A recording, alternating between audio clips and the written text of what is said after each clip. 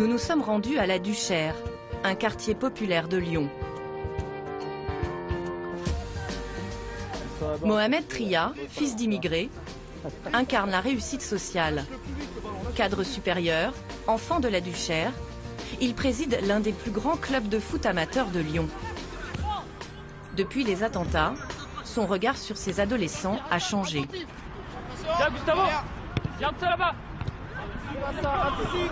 Il a découvert avec stupéfaction l'ampleur de la fracture entre ces adolescents et leur pays, la France. Ce malaise identitaire, Mohamed Tria veut nous le faire entendre. Vous avez pris des couleurs Derrière les rires et les postures, il est à fleur de peau. Moi, je pense que vous, vous, avez, vous êtes capable d'avoir des opinions vous-même. Et je crois que c'est important de le dire. Aujourd'hui, euh, avec tout ce qui s'est passé, je crois que c'est important que vous-même vous dites ce que vous ressentez. Moi, en fait, j'étais dans le bus assis et d'un coup, il y avait une veille d'AF qui commençait à m'insulter de terroriste, de tueur et tout.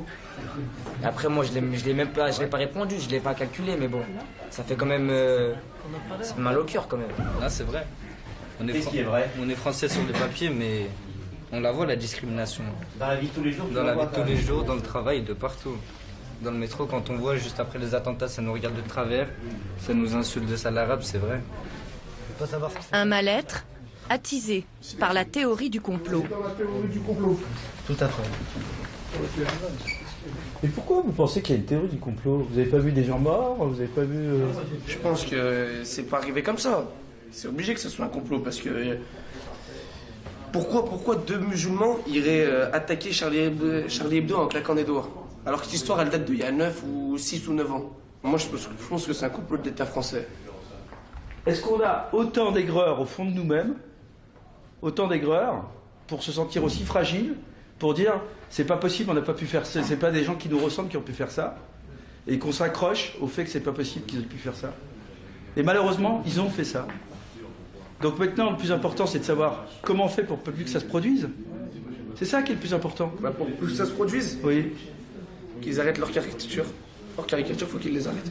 En fait, ouais, Les caricatures, c'est. Non, parce que non, C'est non, quand même terrible. C'est Non. quand même terrible de dire. Donc c'est la liberté d'expression, on est d'accord. Tu as par exemple Dieu donné. On peut considérer. Merci. On peut considérer, Merci. on peut considérer d'un côté que Dieudonné il a un traitement particulier par rapport à Charlie Hebdo. Voilà. Mais il y a une nuance, il y a une nuance entre les deux, une nuance qui est pas neutre. Dieudonné il appelle plutôt à la haine, à la haine. Moi je suis désolé, il appelle plutôt à la haine. Et Charlie Hebdo, ils appelaient plutôt à l'ouverture d'esprit, à trouver les gens qui sont morts dans Charlie Hebdo. C'est des gens bien. C'est des gens bien? Oui, c'est des gens bien qui sont morts. Sincèrement, c'est des gens bien. Cabu, t'es trop jeune, mais Cabu, c'était mon enfance. Bah, moi, Charlie Hebdo, il met la haine. Moi, il m'énerve. Jessim et Ismaël sont en première. Des ados sans histoire qui, malgré leurs désaccords, ont respecté la minute de silence. Moi aussi j'ai faim. Aujourd'hui, la parole des adultes, celle des professeurs, des médias ou de leurs parents, ne parvient plus à les convaincre. Après l'entraînement, ils ont accepté de nous expliquer pourquoi ils croient aussi fermement à cette théorie du complot. C'est l'heure de manger. Et j'ai faim. Ismaël, comme ses camarades, passe toutes ses soirées à naviguer sur les réseaux sociaux. Mais de ce monde virtuel, son père ignore tous les codes. On n'a pas la même source d'information. Moi, j'ai pas Facebook. Moi, j'ai pas Facebook.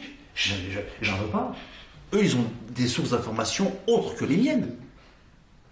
Ils vont sur des trucs, des sites. euh, euh, maintenant, avec. Moi, j'avais pas Facebook à mon époque. C'était. Il y avait trois chaînes TF1, Antenne 2 et FR3. Moi, ben, on écoutait ça, et mon père, quand ça lui plaît pas, allez vous coucher. Ces adolescents, eux, préfèrent se nourrir des vidéos qui tournent sur Internet. On croit ce qu'il y a à la télé, mais ils ne disent pas tout. Et en gros, tout, ce qu'ils ne disent pas, eh ben, c'est dévoilé sur Internet. Ouais, moi, c'est vrai que je trouve pas ça normal qu'il y ait des vidéos qui atterrissent choquantes sur euh, le net et qu'on retrouve pas sur, euh, dans les médias de tous les jours. Pourquoi? Qu'il y a une confusion. Et là, il est là, il- et je pense que là, il est temps de remettre un peu d'ordre dans ces confusions parce que leurs têtes, elles sont. Il y a, c'est- il y a un sac de nœuds dans leur tête. Et ça c'est clair, moi je le vois avec lui, je le vois avec tous les enfants dont je m'occupe au club. Il y a un sac de nœuds. Et ce sac de nœuds, vous savez d'où il vient? C'est à force de rester ensemble. On les a ghettoisés dans les lycées, dans leur quartier, dans leur club de foot. On les ghettoise. Pour que cette génération ne soit pas laissée sur le bord de la route, l'école veut monter au créneau.